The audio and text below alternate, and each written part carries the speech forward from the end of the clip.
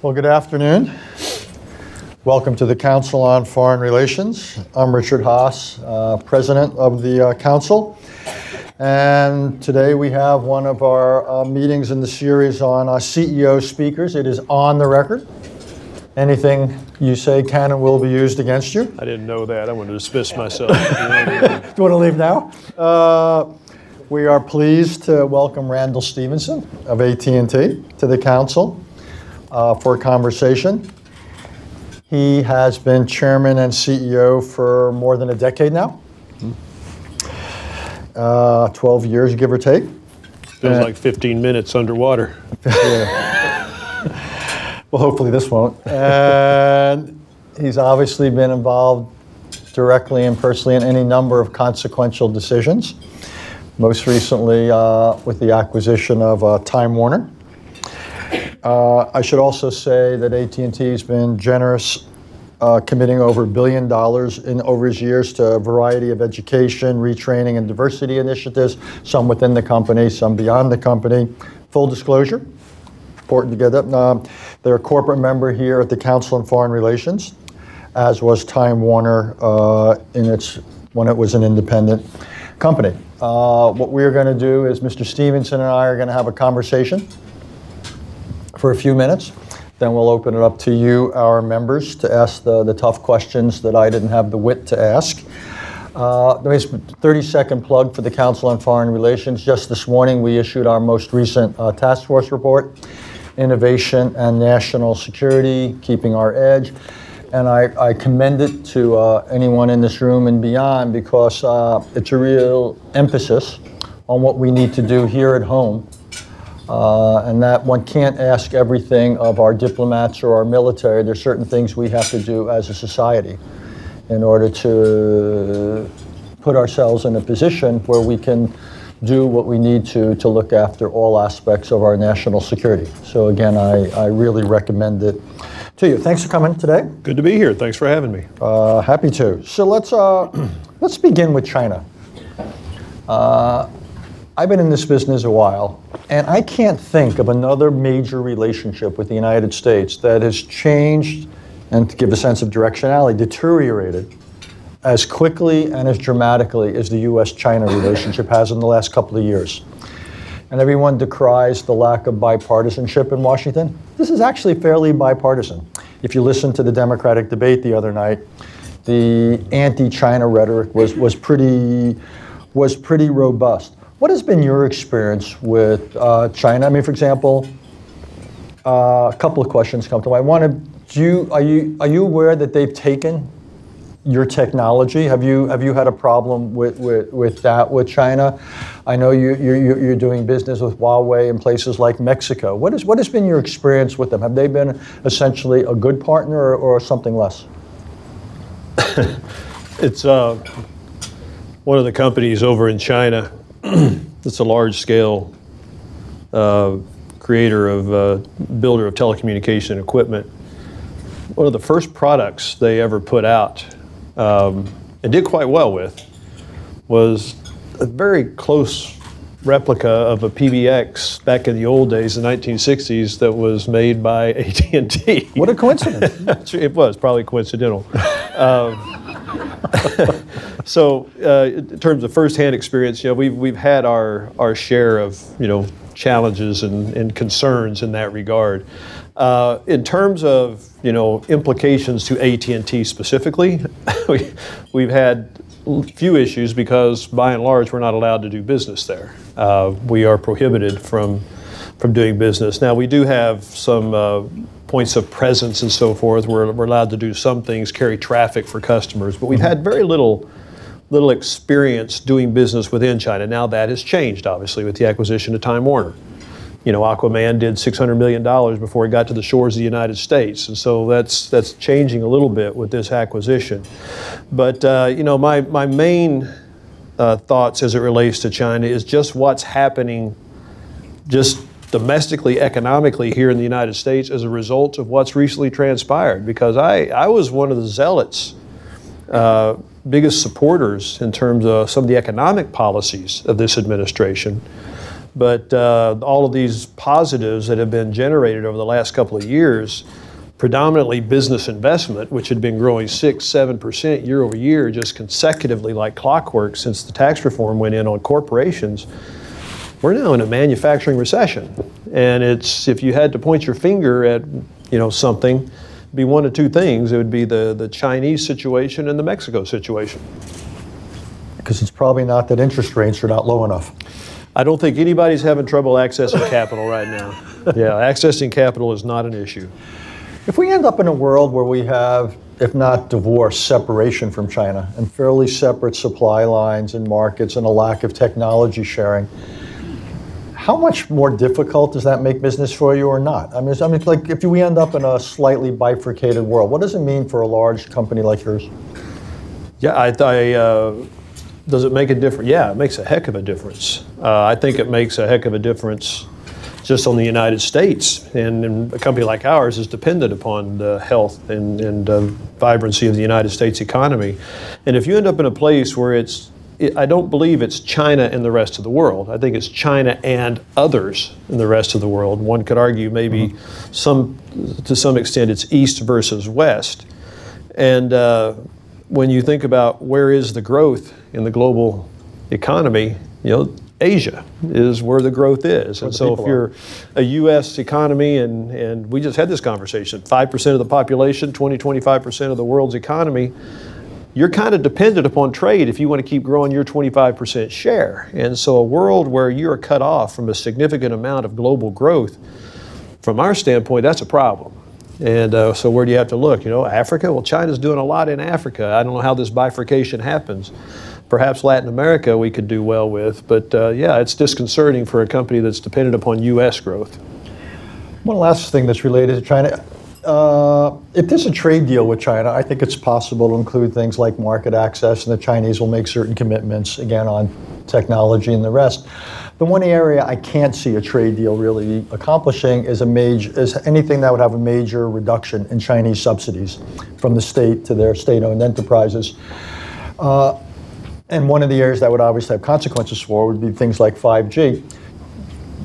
Would you be happy with a trade deal that didn't tackle the state subsidy issue, or do you just assume it won't? I I'm skeptical that a trade deal could be reached that would address, you've termed state subsidy. Let me just terminal, term, use the terminology, just subsidy in general, because I don't know how you enforce it. So, for example, uh, the way some of the subsidies seem to work in China, everybody's familiar with, with uh, our industry and Huawei and, and what they do in China. And put this into perspective if Huawei could achieve in China a 90% share of Chinese communications uh, market share, they by definition have 30 to 40% global share. That's a big deal. Now, if they could get another 10, 20% outside of China and start to get 40, 50% global share, this is a problem. This is a problem for the West. This is a problem for Western supply chain.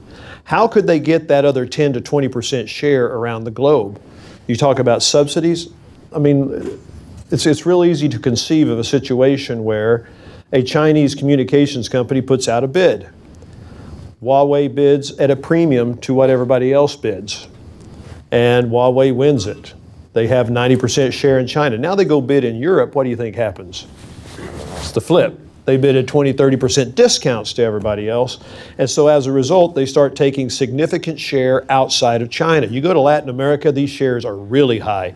Go to Africa, Huawei shares are really high. Europe, I mean, for heaven's sake, there are many countries in Europe where they have 40 and 50% share.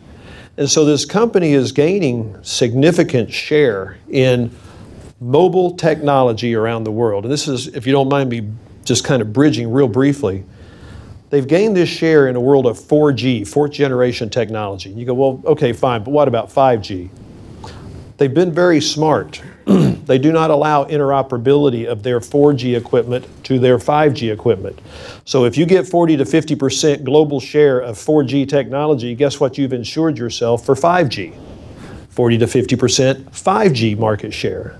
This is something that we in the West need to be conscious of and aware of. And while I don't always endorse the approaches of our administration, I think the mindset, the thought process, the concern is probably on, on target. I'm going to return to that in a few minutes, but let me, I want to touch on a couple of other subjects before we open it one, uh, open it up. I want to talk about corporate America for a second. Uh, I assume many people in the room uh, saw the Business Roundtable statement. I think you were one of the uh, signatories. Essentially, the message was shareholder return can't be our only preoccupation. We've got to have a wider sense of constituencies and stakeholders. Uh, but how do you navigate? It's, it's one thing to say that, but then you got your quarterly reports. You got something called the Mr. Market that's looking at you on a regular basis. How do you navigate a world where, on one hand, people are saying you've got to be sensitive to multiple constituencies, but it's a big but, we still care about your, your, your bottom line as shareholders. Is this an impossible dual mandate? No, I don't. I don't think it is at all. I mean, a lot of the media, the Wall Street Journal, hyperventilated over it, and uh, that how how can this be the case? I would represent that this is not anything new. Uh, if you really want to to have a sustainable business model, sustainable what I'll call free markets, you better be mindful and you better be cautious about things like supply chains, diversity, communities, and so forth. Uh, I just believe that if you're not you have fracturing in a society if corporations just run oblivious to that. You have to be mindful about your employees. I mean, how can you possibly expect to, uh, to have a sustainable, profitable business over time if you're ignoring all of these other variables. And so to me, it's the most logical thing in the world to think that, that uh, the, the purpose of a corporation is to serve all those constituencies if you want to have a true sustainable model. Keep moving around. Uh, AI, robotics, autonomous vehicles. This is the world we're living in. You've establish yourself, you being AT&T, as one of the leaders in the corporate world with reskilling, with uh, training, education. Right. If I've got it right, you you basically go to your workforce in some cases and say, you're in a job, you're doing great, the problem is this job is not right. going to exist in a year. what, what, what have you learned from this? What, what's working and what's not working in terms of transitioning your workforce from today to tomorrow? What, what, what's, what's, been your, what's been your experience? What what works is, first of all, making sure your employees understand how the world is changing. I mean, you, there, there has to be an awareness among your employees in terms of what is happening, where are the jobs going, what jobs are going to be relevant three, five years from now, and what jobs are disappearing. And the one thing that I wish I could take credit for this, but my, our HR folks did was said starting point is out in our HR systems, when you go look at a particular job opening, it shows you what direction are those jobs going. Are they going up or are they going down? And if it's a job where the number of the, the demands for the job are actually increasing, that's heightening. That's, that's an awareness. That's a really important thing. And uh, so that's a really important variable. And it seems basic, but a lot of people miss this. And so the employee understands this is where this thing is going. And, and you can think of the, the kind of areas, if I'm a telephone repairman, you know, and I go and click on for an opening, they're going to see that that thing is doing this. You probably ought to be aware that's not a, a kind of job that you want to be moving into. Where does the CEO fit on that? Uh, Sorry, cheap shot. yeah, I, I, I, don't know that most people want it, to be honest with you. But, uh, but the other thing is, do you make it really, really easy for the employees to know what is required for the jobs they want to seek? And that sounds easy too, but you know, here are the certifications that are required. And if you want these certifications, here's where you go to get those certifications. Click this, this, this, take these classes, do this training, and now you are qualified for this job. And you can begin to truly move people. It doesn't happen overnight, but you can truly begin to move people into the new world and into the new jobs, and it, it uh, takes a period of time. I would say we started this seven years ago, and we said this is probably one of the most difficult logistical things we've ever tackled. And we big, big, build big networks, and you know we do big logistical challenges. And uh, this was one of the more difficult ones we took on. And I reflect back over seven years, and I have to say this is one of the areas that I take most satisfaction in over the last seven years is how this has moved and, and transformed a workforce. Let's talk about healthcare for a second. Uh, you know, this country spends roughly close to a fifth of its GDP in the area of uh, healthcare. I don't know the details of your program. Five and a half billion dollars. Okay, so you again talking about the recent Democrats debates. Uh, a large number of the Democratic candidates are talking about some version of a, a large public option. In some cases, taking away a private option. What, as someone who is spending this, you have hundreds of thousands of employees. What is your sense of where you want the government to go with healthcare?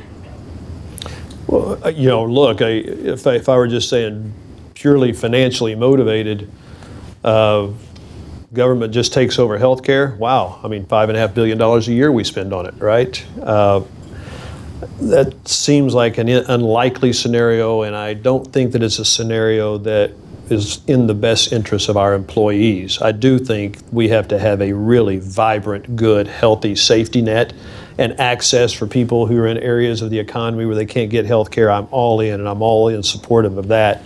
But uh, the idea that uh, the government is going to take over providing health care for, we insure, I think, somewhere around a million and a half lives between retirees and actives, and taking that and dumping into government system, that's just one company, uh, feels like uh, a really, really big deal. And, you know, I don't know, it's, it, some would say it's too paternalistic, but I, I worry about the health care for our employees. We do a lot not just to control costs, we do a lot to ensure that our employees live healthy lifestyles, productivity, just their own longevity, et cetera. And, and uh, once you start kind of abdicating that responsibility from companies, where does that lead you in terms of the, the general health of your employee body? I, I think it's important that we as CEOs and companies have a vested interest in the health of our people. I think it's a good thing. I think it's a productive thing for society. We, we actually practice that here, so Yeah. uh, we feel good about it. Uh, one of the, another area of uh, emerging bipartisanship is uh, hostility or questioning. I'll make I'll dial it down a bit towards big technology companies. Motivations may be different between the left and the right, but we see uh, whether it's antitrust based or regulation based, we see uh, the the environment in which technology Yeah. companies are operating in is uh, clearly the temperature's go, changing on that. Oh. What's your reading of that? Whether this would be welcome, or in some areas it might, in some areas it wouldn't. To what extent do you, are you concerned or potentially relieved that the government may be moving in this direction? I'm, I'm never one to wave a flag, say go regulate or, or uh, take on antitrust efforts on, on other companies. Uh, it's just kind of against my nature. But it, it's, it is interesting, probably even ironic, that for 20 years, the government seemed to have, didn't seem to have, the government, the United States government, even state governments, had a deliberate policy of light touch oversight and regulation of the internet companies. And it was for good reason. They, they wanted to see these technologies flourish. It was good for America, get technological leadership. And so there has been a very, very light touch and hands off approach to a lot of these, these companies. And uh, mission accomplished. Uh, these companies have thrived. And we now have a lot of these companies who have uh, very significant share in the, in the domains where they operate. And you know, you think about AT&T. You know, back in the day, we were regulated heavily as a monopoly until our market share fell below about 50 percent.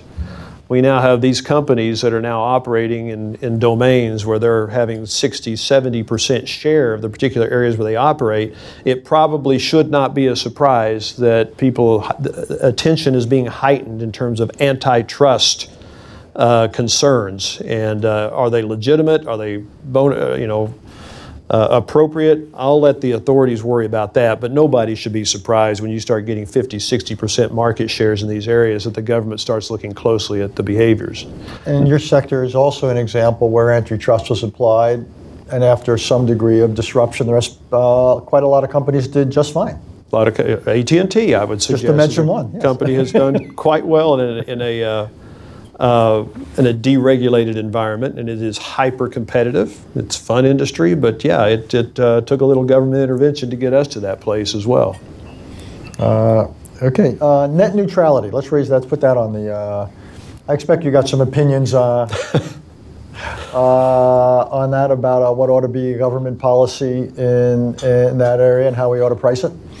I uh, always start a conversation with net neutrality out with what does it mean? Because if I were to just ask various tables to give me a definition of net neutrality, You can't ask this table, by the way. Uh, I don't care what they I would. I would get multiple definitions of what it actually means. And uh, if, if what we're talking about is that there should be unfettered access to the content on the internet, and uh, that you know companies like ours should not be able to block anybody from getting to certain content or throttle you in terms of your use of content. We can't treat AT&T's HBO Max streaming better than Netflix's streaming, and and, every, and somebody ought to be able to develop a device that would connect to the internet, and it ought to work as well as anybody else's device. If you say that's net neutrality, then by all means, I think that's important. I think it's important to the growth, the development, the continued development of the internet. I think, in fact, that it is so important. People in Congress ought to step up and do something about it, and I actually ought to legislate what I just said. Instead, what we do is we have we we write the worst legislation in the world anymore. We write just kind of frameworks as legislation. We hand it off to a bunch of bureaucrats to regulate it, and depending on who is president, one interprets it this way over here, and so companies orient themselves. They set up their business models over here. Then there's an election, new president comes in, and we're swinging all the way back over here, and you're oriented over here, and your business practices are changing, and you don't know how to invest in 10, 15 year horizon networks and so forth based on this kind of phenomenon. And so this is one of these areas that people need to step up and do their job and pass some legislation on this. This is a, this is chaotic for businesses who are trying to keep the U.S. in a leadership position on the internet. So your view is almost whatever you decide, just decide it and stick with it? Yeah, and I, I think there are some really broad frameworks that people can agree on. And it's, it's not too dissimilar from what I just articulated. I mean, there will be some, look, we're all rent seekers. You start this process, and everybody's going to be in there trying to get this thing and that thing. We just got to keep focused. And I, I will give credit uh, on uh, some of the recent legislation passed by Congress on tax reform on the corporate side, not the individual, but the corporate side. There were some big, broad principles that said get those competitive U.S. tax rate. There are some big, broad principles on net neutrality we should be able to legislate and get done.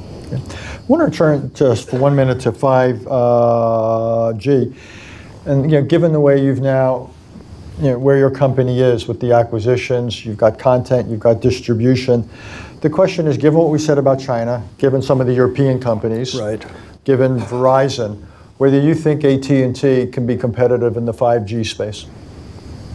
Oh, yeah. I think we'll be very competitive. I think we'll be leaders in the 5G space. We already are. When you think about you know what, what kind of determines how 5G rolls out, the first step is how do you set standards so that you can get everybody manufacturing gear and equipment that guys like us go out and deploy. Uh, the standards are everything. And so AT&T was the leader in the standard setting process. Now, something you should be aware of, for the first time in my career, the Chinese got very aggressive in this, and uh, they were all over the standard setting process. But uh, we got everything in the standards we wanted that we thought the U.S. needed to, to have a shot at maintaining a leadership position. So standards are set right. Uh, we, AT&T, in anticipation of this, have been buying up, spending billions of dollars on acquiring wireless licenses because when you think about 5G, you got to have a lot of airwaves to, to pump all of these volumes through. We've spent over $40 billion over the last 10 years on acquiring licenses so that you can have the bandwidth to pump all this through. I will tell you AT&T is as in good a shape as anybody in the world. I think we're the best position in the United States and as good as anybody in the world. So mission accomplished there. Uh, we have a balance sheet that we're committing to this and we're investing in it. So I feel really good about that. We have the great technology. We've, we've done a good job on getting the technology ready. Here's where we have a problem. If you're thinking about your competition, you said Europe. I don't think anybody in Europe has even issued an RFP for 5G yet, truly. So I, I set Europe aside. They have gone from first to worst in the, in the world of mobility, For uh, you can debate why, but Europe is, is not in play right now. Uh, it's China. If we want leadership position, it's vis a vis China. you want to deploy 5G, what, what are the big barriers? I've talked about some of the barriers, which we've now broken through. We're past those, spectrum and standards and equipment and so forth. Now you got to go out and put this stuff up. You got to go out and deploy thousands upon thousands of cell sites. Now, I don't think in China they're spending three years trying to get San Francisco to approve a cell site. I suspect in China, when they want a cell site, they go put up a cell site where they want it. And they're putting up millions upon millions of cell sites while we're over here uh, kind of debating and, and uh, thrashing through with uh, local, municipal regulations, state regulations, federal regulations, trying to just to get the infrastructure permits to put this stuff in place. And so if there's a place where we're going to fall behind, China is going to be able to go much faster in that regard than the U.S. will. And I, am not saying their approach is better. I get the environmental concerns, aesthetics, appearance, uh, but we have people wearing aluminum foil suits because they're afraid of 5G, right? And fighting deployment of 5G. I don't think they're dealing with that in China. What about the, the regulatory side or the idea that so much of the spectrum is reserved for the military? Do you basically feel that the government has to change policies so you can do what you want to do with 5G?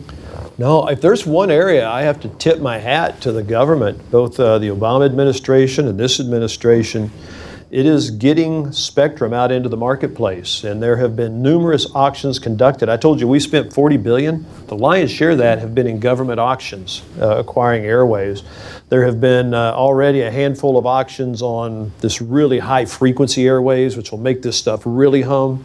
We've participated in a couple of those. There's another one coming up this year. So i think our government is doing a really good job of getting the airwaves out into the hands of the market and the people who will deploy these networks. And that, we're not lagging behind the Chinese in that regard. Even though this is the Council on Foreign Relations, for a second, I'm going to make it the Council on Financial Relations.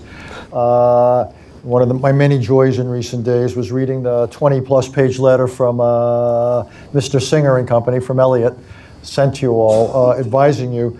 So the criticisms or reactions about the the idea that you've put together through acquisition rather than organic growth, where you are content and distribution, that essentially this is an old-fashioned conglomerate, and that's not a good idea anymore. How do you, how do you take that, other than not well? Yeah, look, I, the letter was, uh, no, I didn't take the letter poorly. I, uh, it, was, it was interesting to me. The letter uh, laid out some recommendations, and uh, the recommendations seem to be supportive of the strategy, the, uh, the importance of Time Warner, the acquisition, and uh, the importance of 5G, which we have been talking about here, and the, and the power of the assets. You know, they, they actually talk about it in those terms. So, look, I read the letter, and and candidly, there were some areas that I just read, and I thought, you know what, they make some good points, and. Uh, uh, we we'll engage with them on those those points. It was a mixed bag though. There were some that I read and I go, I'm, I'm not sure that's so clear to me,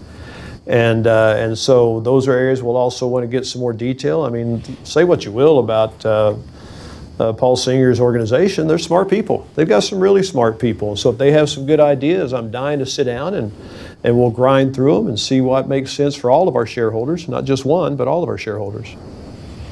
One last question, then I'm going to open it up. Uh, when you went through the, uh, the hoops of uh, the merger, there were all sorts of questions about whether you would advantage your own content in your own distribution systems and disadvantage those of others. Where, where does that stand now? Because you now have all this content coming out of HBO and other places, and you've got your, your pipes, so to speak. Uh, how, how, to what extent do others who want to get into your distribution system, other streaming services, how do they compete? How does, how does all this going to play out? It's playing out exactly as we said it would play out in the courts. And I, it's, there's not a whit difference between what we uh, established as our position in the courts, and that is, as a media company, I see Wolf and the team down here, CNN, I can't even begin to fathom the motivation that would say we want to limit CNN's distribution just to AT&T's platforms. That is a mindless proposition.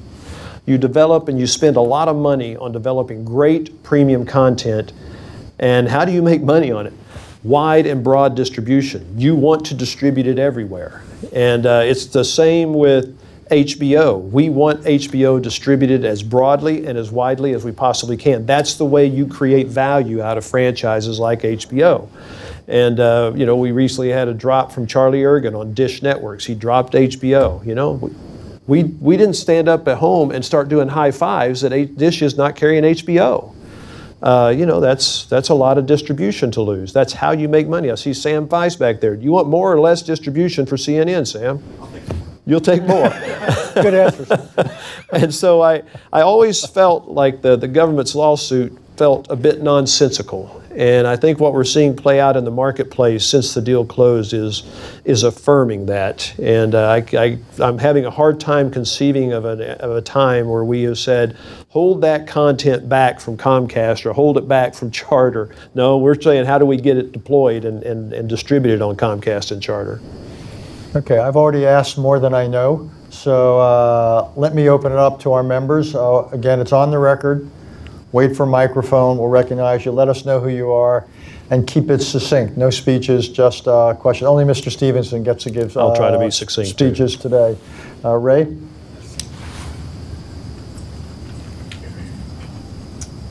Ray Tanter, the American Committee on Human Rights and Iran Policy. Hi, Ray. Sir, do you think that Huawei is playing chess while we are playing checkers? Who? Huawei. The other day. Oh, Huawei. Huawei. They actually play Go, not chess, but anyhow. Uh, just a, a technical fix here. Well, I think they're really smart, and I, I've, as you heard me articulate, I think they've made some very smart strategic plays. Um, and this issue of disallowing interoperability between 4G and 5, I don't want to get technical, but that's a big deal. And uh, you know, if if you've got the 4G layer and you can't interoperate to 5G, then you are beholden to Huawei for 5G. Isn't that kind of what Apple does when they basically tell you that the charger that worked with one generation doesn't work with the next generation? Yeah, but changing out a thousand dollar smartphone is different than if you if you don't want to use Huawei for 5G, then you have to go rip and replace your fourth generation network and put in another player. So look, this is this is a really big deal. We AT&T have led the effort on something. I'll, I'll try to make this as simple as possible, but but virtualization of networks, putting as much of the electronics out on the edge as possible, but more importantly,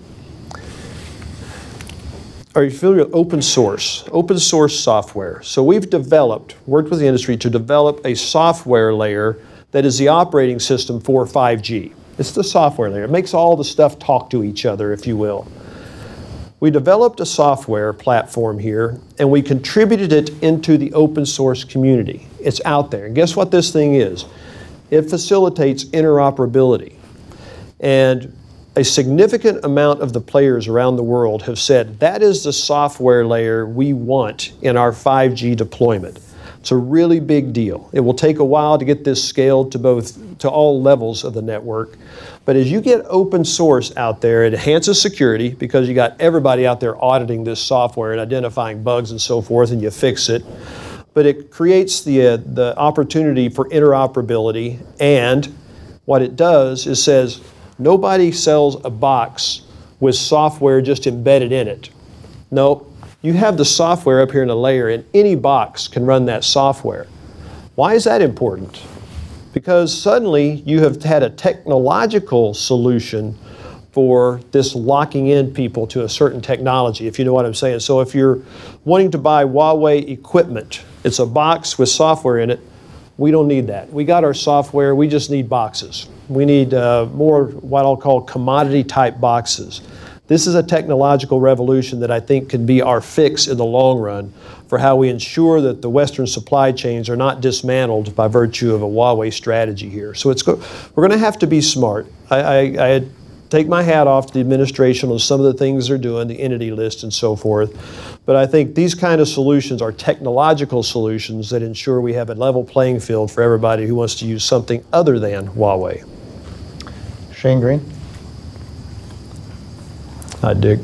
Hi, um, with a personal data platform called DigiD. Um, Shane Green, sorry, I wasn't sure if that was redundant. Uh, um, one another area that China has a big advantage given their approach to technology is around data and privacy. Um, some people are uh, calling it a surveillance state and they're actively exporting it. I think Freedom House has listed about 35 countries that are actively deploying their approach to surveilling their own people, creating citizenship scores, all these sorts of things. Um, Europe's taking a pretty big or different approach uh, with GDPR and there were uh, you know, serious sensitivities around privacy. Um, I'm curious how you see that, uh, especially given that you're both in the role of uh, you know, infrastructure and telecom, but also in a content uh, business where you know, collecting data and using it in advertising and like is really important. So curious what your thoughts on that. Yeah, this, this is a big issue. Uh, and I, I'm going to back up a little before I just get to the core of your question. But the, the, the beginning of your question is very relevant. And, and the paper that McRaven and the folks wrote here at CFR, I browsed it this morning, but it talks about the technologies that China has established as areas they want to, to advance and be in the leadership in AI, quantum, and 5G. Those are not independent. Those are interdependent. And if you think about all of these, and they, they've established them as a premise for economic as well as military leadership. And when you think about AI, what is the, what is the fuel that makes AI relevant? It's data. Data, data, data, data, data. That's what AI is all about. As I said, the Chinese aren't spending a lot of cycles and a lot of time, you know, permitting cell sites. They're not spending a lot of cycles and time on privacy policies and what data can we use and what data can we collect. 5G is going to allow sensors all over the, all over the place. 4G networks in a square mile, you can connect uh, thousands of devices. 5G, millions of devices per square mile, much lower power, much lower compute requirements, and so data is going to be thrown off of this stuff. They have no issues with collecting data and using data, which will power AI, which will make their AI much more advanced and much more powerful. To make that AI relevant, you're going to have to have different compute algorithms, quantum. Quantum is critical for, for all of this. And if you're going to have great data, AI, great quantum, what are you going to need? You're going to need to move this data around in real time. That's why 5G is so critical. These all fit together, okay? Now, in the United States, we are headed down a path unless, here I go again, Congress acts. We're headed down a path where California now has a data privacy rule. You have, I believe, Washington, I'm looking at my guys over here. Maine has a different privacy rule. There are multiple states working on their own privacy rules that will all be different. If you're a consumer, you're not going to know what the rules are for how one company handles your data versus another. If you're a company, it's going to be hard to kind of manage this across 50 different states. While the Chinese are over there doing this, we need privacy legislation at the federal level.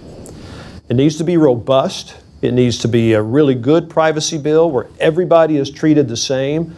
But we need to have a privacy bill. This is going to be another one of those areas where we're handicapped in the U.S. because we just don't have rules and a framework that allows us companies to innovate and to move and to, and to, to really lead in these areas. So your question is a very important question, and it's one that if we don't get right, it's another area where we fall behind. Randall, just take one minute, just so I want to make sure everybody gets it, about why 5G is so significant. What will, you know, the speed, the capacity, and the rest. But just take a second to say why 5G is not just a linear increase, it's something qualitatively different.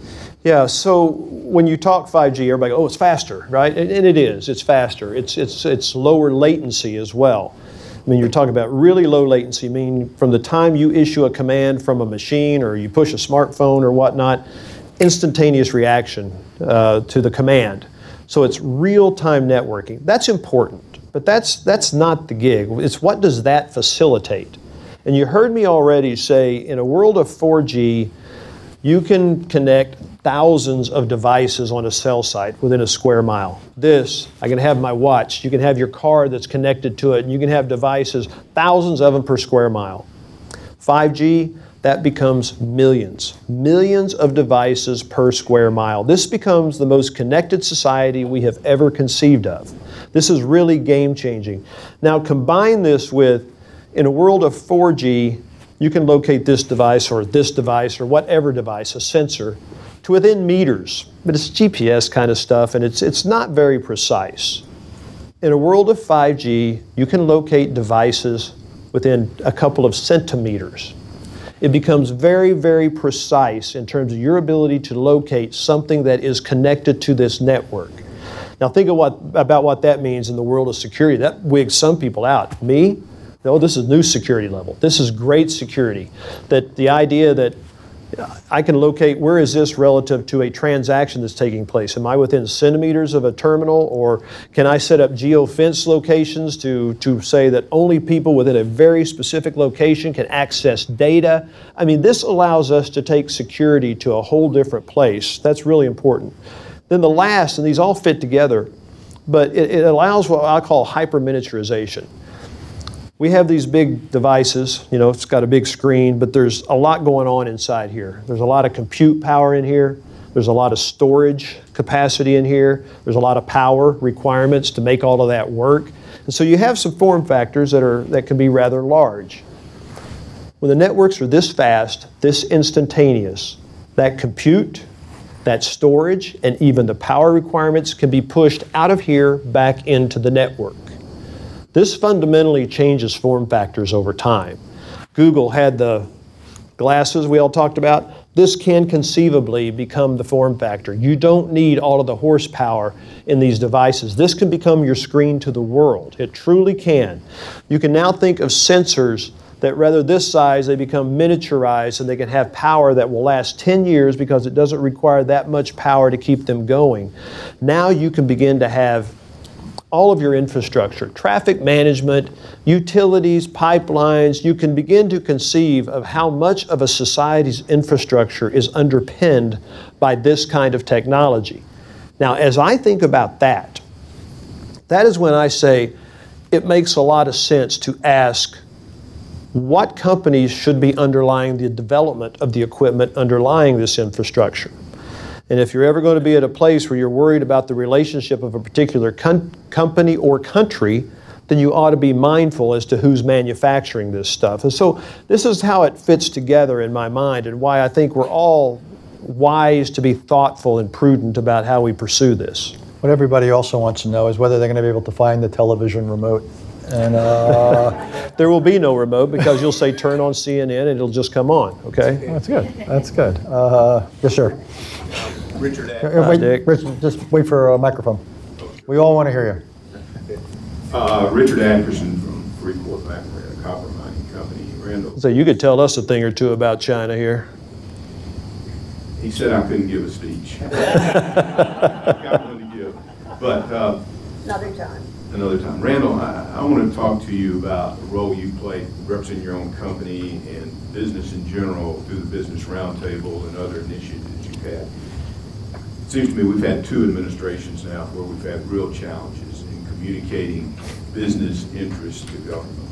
I mean, we had some success, as you said, with taxes, but. You're, you're telling me I've been an abject failure. Is that what you're trying to say? Yeah. no, no, no, no, no. It, it, it's, it, it's a challenge for all of us and a challenge Yeah. for our country, company because of our impact in international relations. But I'd be interested in your, your, your, your comment on it, just broadly. How, how do you think it's, uh, we know the challenges, but do you think, uh, are you frustrated by it, encouraged by it? Do you, do you have observations of how we might do it better? Um,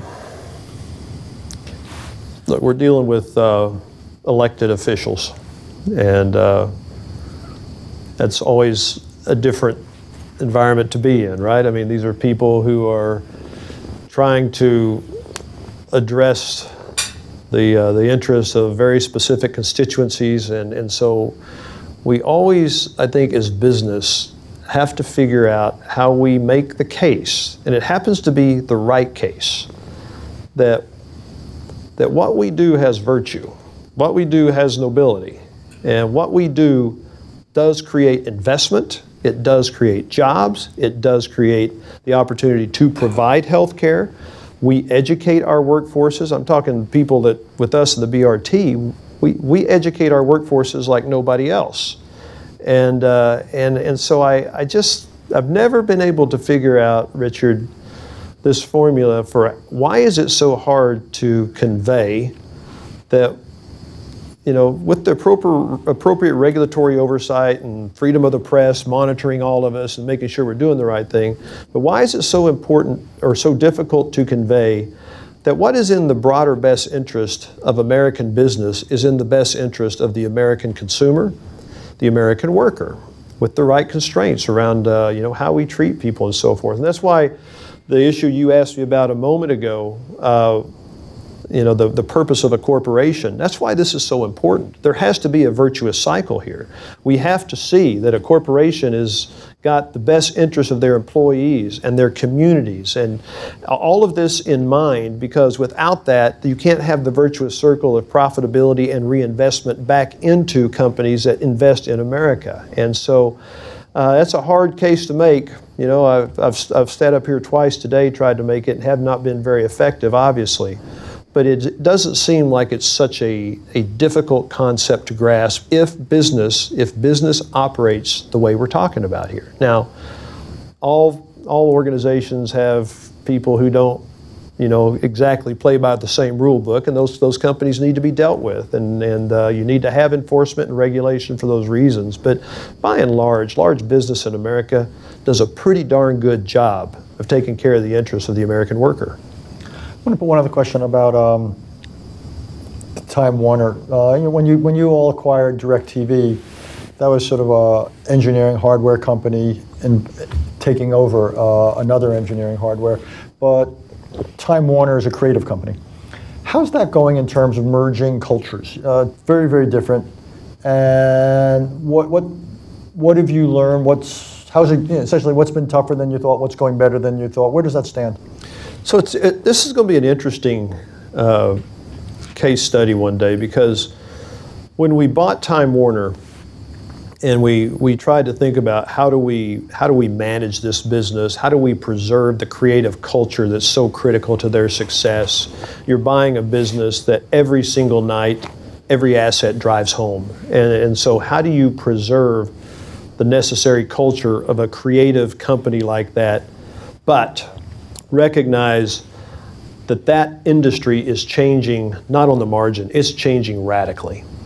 And, and I had this conversation yesterday that uh, as you think about how you run a company like that, you know, you would run Time Warner the way it was structured when we bought it, one way with one type of person and, and, and leadership and so forth. But if you're trying to take what I will call a legacy media company and transform it for the new era, would you think about organizing and managing it a little differently? Because this company, we got to get it pivoted. We got to take all this great, fabulous content and all this great talent and figure out how to get that content delivered digitally. Because while the amount of pe- amount of content people are consuming every day is actually growing, it's not shrinking. You know, we hear about cord cutting and oh my God, you know, people are not watching. No, people are watching more content but all of the growth is happening on digital. So uh, the pivot we have to run, and you know we've done this not in creative cultures before, but we've done this a thousand times, going from a, a legacy business to a new business, transitioning business models from wired line to wireless, you know, from, from a old basic uh, dial-up to high-speed internet and fiber. You know, you run these transitions. Well, the media industry is having to run one of these transitions. And so how do you do that without breaking the culture uh, that's so important underlying all of this? And this is where we think we have a really unique advantage here if we can execute this play because there are a lot of companies in media trying to run this transition and they're pivoting to a digital model but they don't have distribution. Their distribution has been cable companies satellite companies and movie theaters.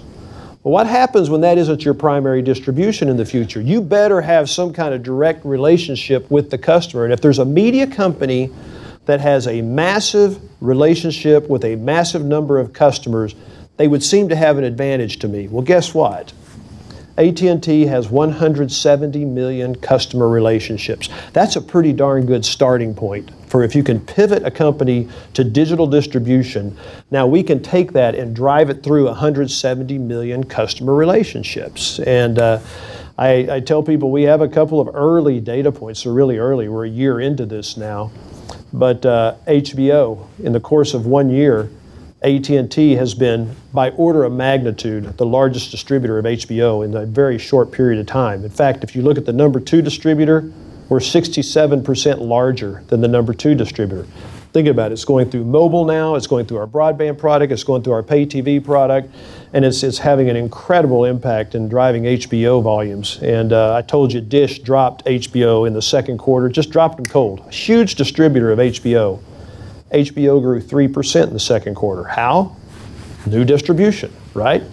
And uh, content is king, distribution matters. You put the two together, we think there's an opportunity to transform this media company to digital without having to compromise distribution in the interim. Time for uh, a few more questions. Yes, ma'am. Great, thank you. Molly Elgin Cossart with Markle Foundation. Hi. Um, I wanted to come back to the education training point. You talked about what AT&T has done uh, laudably, and I'm thinking there's an entire ecosystem. There are other employers. There's our K-12, which a speaker this morning said is actually our biggest national security threat, and other post-secondary education training. And I'm thinking, what do you take away from that experience to inform the broader conversation about what policymakers should be thinking for education training of our talent pipeline? other employers, um, but sort of a slightly broader picture. Love to hear those insights. Yeah, this is an interesting question. And if you think about, you called it an ecosystem, that's the right term. We've built an ecosystem around uh, employee development and reskilling uh, our employee base. It, it seems to me so logical that this would work in a municipality.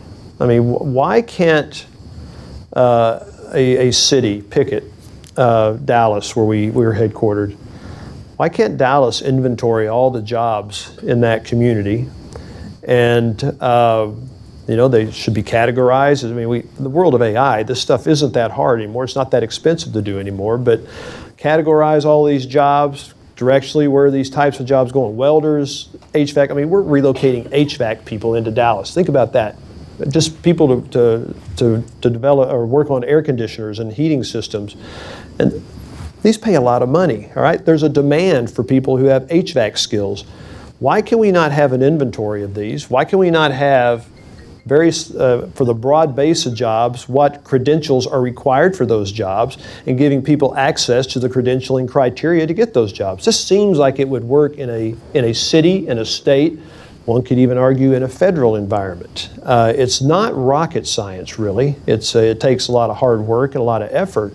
But I think there are implications. Tom Friedman has come to me and challenged me. Why don't you just stand this up for Dallas? You know, and you know, you think about it. it may, maybe there's a business model here, but it just feels like something that could really move the needle in terms of getting people ready for the jobs that are growing, the jobs that are coming, rather than the jobs that have been. How do you reskill a, a community? A little bit of a home team advertisement. That was the subject of our previous task force report. Is that right? Uh, yeah. No, it's a big, I think it's, it's a big issue because if we don't get it right, this country is not going to have no pun, in, you know, the bandwidth to Right. cope with a lot of things around the world unless we get this uh, issue right. Yes, sir. Hi, Evan Kaplan from CrowdStrike. Uh, you spoke about the, the tremendous opportunity that, that the 5G infrastructure will create. It also creates tremendous opportunity for abuse and, uh, and destructive power of attacks if someone were to manipulate that infrastructure. I, I wonder where you see the, the role of the private sector versus the public sector in securing that. What, what's, what's, the, what's the right mix there in order to ensure that we, we reap those benefits without, without incurring some of, the, some of the risks? The key word you used is mix. It's a mix. And uh, I think I think we're really good at network security. Uh, we we invest a lot of money at it. We spend a lot of time at it. But you know, our government has a lot of information uh, in terms of things that are going on, and, they have insights into to traffic and so forth that's that's going over these networks, and putting the the uh, entities together in a way that protects, first of all, our consumers and our businesses information and data. But uh, that a lot of that, as you might well guess, does happen and does go on. I think as this gets more and more sophisticated and more and more complex and more and more aggressive, David Sanger somewhere here in the room. If you hadn't read his book, go read it. It'll scare the hell out of you in this regard. But uh, we're going to have to get better and better at partnering with government. And uh, I, I would challenge that it's got to be a two-way flow. Our government tends to like one-way flows. And for these things to work, will have to be two-way flows that are more fluid and, uh, and so forth. But it's going to be critical to, to partner on this. And, I, and David Sanger's book makes the point that it's hard to get people energized and to take action on this if they don't recognize how significant the threat is. And the threat is significant. I mean, think about the implications of, uh, of somebody taking down a significant portion of the internet. You could cripple financial communities. You could, you could stop a lot of things. I, I try not to be too sensational in these things, but you know, some very targeted things could have significant implications on electric uh, transmission. All right. And uh, these are things that ought to be alarming, and we ought to have a bright light focused on this and, and making sure that government and business are working together. Yes, sir. Yes, sir. Thank you. I'm Bob Perry with the Stevenson Group of International Consultants. You've given a very uh, detailed and broad uh, view of the 5G growth primarily in the U.S. and maybe other developed markets. My question goes to the developing world, specifically Africa. Go back to the year 2000, telephone penetration in Africa was maybe 1 to 2 percent. Then came the cell phone, and now you have mobile use in villages of 100 people, 200 people. The question is the opportunity and financial governance challenges of 5G to move into that space. Actually, when you answer that, also talk about low density areas in this country. How do, same question about rural areas.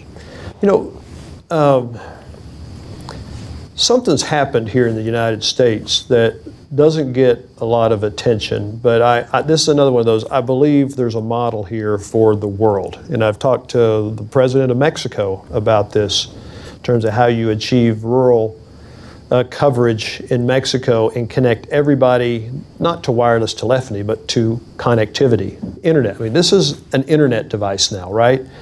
And uh, and so after 9/11 none of the emergency responders could interact and communicate. I mean, communications were a disaster after 9 11. Everybody was on different protocols, and firemen from uh, Pennsylvania came to New York and they couldn't communicate with the New York firemen, and, and the police couldn't communicate with the fire, and the EMS couldn't communicate, and it was just really, really bad. And so Congress passed legislation that instructed that a, a nationwide network, wireless network, be built for the first responder community. It was a big deal. It's called FirstNet. And so the government finally came out and did a big bid in 2016, put out a big bid. We went in hard on this. And, and this uh, bid said whoever wins this thing must build out all of America, this network for first responders, and whoever wins it gets this big block of spectrum, airwaves, to build it in. And, uh, but you got to build out the whole country, some very detailed requirements and specifications and so forth on this. We, AT&T, went in hard and, uh, and we won this thing. And we're building out this nationwide network. We're 60 some odd percent complete now. This is really an amazing thing because you're getting this first responder network that is truly, it's a high performance network. Really, really impressive. When the first responders aren't using it, we're allowed to commercialize it for anybody else. Well, what's happening? We're building out rural America for the first responders, but the network's available for rural America. We in the United States government are funding this. And you know how it's funded? It's funded, I told you we spent $40 billion over the last 10 years on wireless airwaves and auctions. Uh, in one of those auctions, the government carved off a few billion dollars of the proceeds and said, this is going to be used to help build this network out into rural America. And that's what's happening here. And it's, I, I tell you, I watched this and I just, I, I expected this to be big and significant. It's exceeding all of my expectations. And I, I do, when I talk to government officials around the world, I tell them, you need to watch this. This is really important. In Africa, in these communities, somebody has to buy the wireless airways. Either they're either leasing those airways or they're paying a check to get those airways. I think governments should be thinking about how do I set some of that money aside now to take and put back into connectivity for our communities that would not otherwise have connectivity. So this is a model that I think has a lot of legs and be used elsewhere. Randall, we've only got about a minute left. and one of the very few principles we try to keep here is that we uh, begin and end meetings on time. So uh, many of us are enthralled with the HBO show Succession. and after having read the letter from Elliot, what we really want to know is to what extent does that tell us what we need to know about succession at AT&T? Well, first of all, I have no sons that I can name as my successor, and I, I don't think that would be allowed at all anyway. But uh, I do love that show. I hope everybody's watching that show. So please tune in this Sunday night to Succession. Okay. Thank you very much. Thank you, Richard.